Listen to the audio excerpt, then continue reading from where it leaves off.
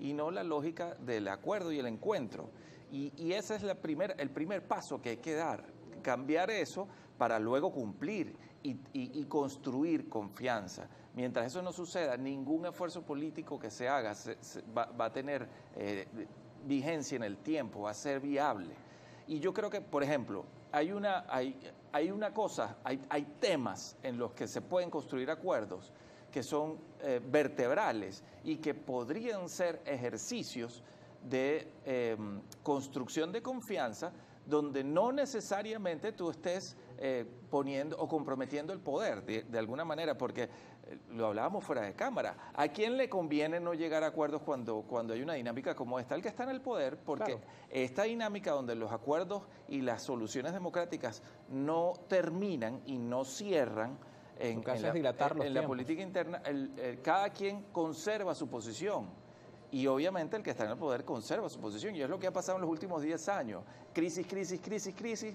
No hay solución y el que está en el poder se queda en el poder. Y el que está en la oposición se queda en la oposición y el que está en las posiciones que está se queda en la posición que está. Entonces no se soluciona nada. Ahora, como hay cosas que pueden salirse de esa dinámica y empezar, por ejemplo, ¿por qué no empezamos a hablar de construir un acuerdo nacional de todos los venezolanos donde la economía esté completamente independiente de la política.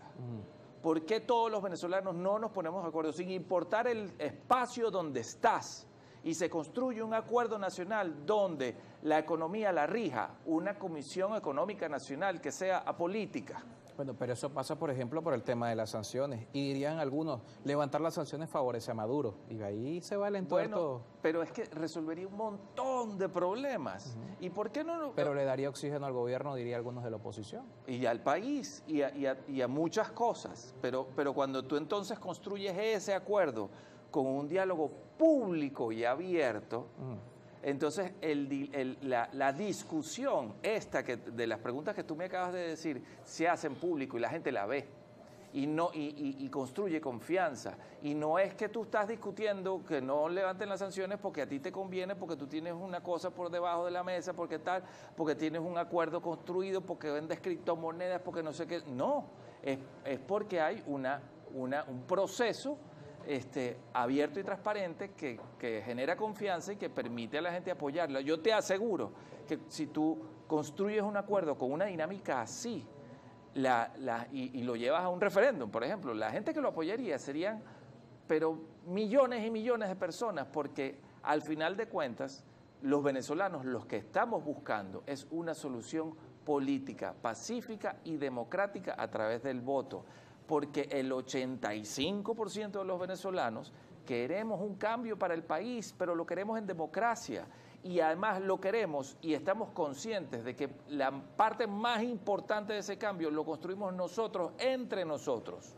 Entonces, ¿eso qué quiere decir? Que nosotros nos tenemos que poner de acuerdo como sociedad para empezar a construir esa solución política. Es una buena manera de construir esa solución política eh, definiendo los espacios de grandes consensos, los espacios de los grandes acuerdos nacionales que se separan de la política polarizadora. Claro, pero pareciera que nadie quiere ceder, porque es que eh, todo el mundo mide el costo político de un consenso, de sentarse con Maduro, de sentarse con, con, otros sectores que, que, son colaboracionistas, que si son alacranes, que todo el mundo tiene su, guardado su costo político. Porque siempre ha habido la lógica de ponerse de acuerdo entre partes, entre eh, negociar entre, entre capos, por decirlo de alguna manera. Lo que estamos proponiendo, o lo que podría ser una solución, es hablar sobre el tema. O sea, si, fíjate tú, la solución para los problemas es el diálogo. Lo, lo, dice desde la Iglesia hasta Naciones Unidas y, va a haber un diálogo con Guyana.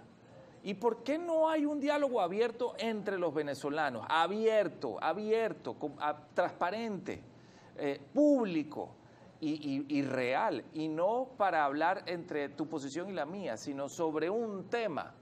Vamos a poner sobre la mesa que la economía esté separada de la política. Y, y sobre eso es que nos vamos a poner de acuerdo. No si tú te vas a quedar en el poder o yo me voy a quedar allá o tú aquí. Sobre este tema vamos a hacer un, acuerdo nacional sobre la protección a los niños y a los adolescentes y la protección de su educación por ejemplo. Y entonces construyes grandes consensos nacionales en que la dinámica de la polarización no afecta la, la vida vertebral de la sociedad. Y eso te permite ir reconstruyendo una cosa que la polarización ha destruido en el país, que es el tejido social venezolano. El tejido social venezolano que eh, eh, se ha perdido y por eso no hay confianza en nada. y, y paradójicamente empiezas a ver el éxito gigantesco de, aplicaciones y cosas sobre crédito, etcétera, que están basadas en la confianza en el venezolano y que dicen, no, el venezolano es muy buen pagador, el venezolano paga bien, el venezolano cumple su palabra. Es decir, es una... Al margen de la política y de las normas Es un problema de los políticos, no de la cultura del venezolano. El venezolano cumple y es buena persona y es buena gente y además cumple su palabra. Y, debemos agarrar ese ejemplo y llevarlo otra vez para la política y volver a construir una política basada en la confianza y en el cumplimiento de los acuerdos. Parece complejo construir confianza en la política y los momentos, además de, de coyunturas como estas, donde no hay confianza en ningún actor político, siempre surgen figuras ajenas a ese mundo. Lo estamos viendo en Argentina con, con Javier con Javier Milei. ¿Cómo ve Emilio Graterón, que en su momento también públicamente apostó por, por, Benjamín Rauseo? Bueno, todavía creo que, apuesta por esa candidatura. Eh, que esta desconfianza lleve a ese punto. Mira, cuando yo, por cierto, lo hice eh, contigo, eh, cuando yo describí la figura de Benjamín Rauseo es porque tiene las características de un outsider y sigo pensando en eso.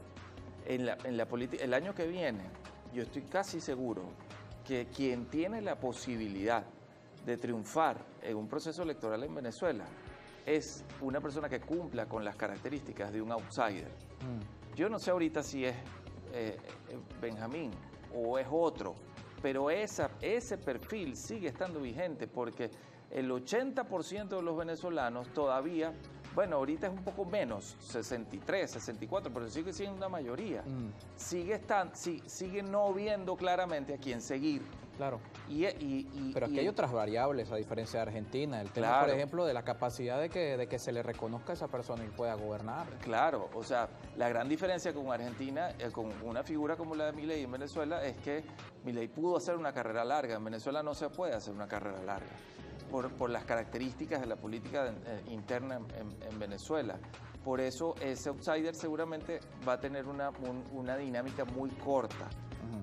Ahora, que los, que los actores que hay ahorita puedan transformarse en esa persona, sí puede pasar. Pero fíjate tú algo importante que pasó ayer en, en, Argentina. Toca despedir. La dinámica polarizadora de Milley se transformó y, se abrió al diálogo, al reencuentro, a la reconciliación y a la apertura. Mm. Venezuela tiene que empezar a irse hacia allá. Utilicemos la oportunidad que está abriéndose con el ejemplo del diálogo entre los presidentes para que haya diálogo abierto y transparente para los grandes consensos políticos del país. Emilio, gracias por acompañarnos esta mañana. Emilio Graterón con nosotros, dirigente político, 7.46 minutos de la mañana.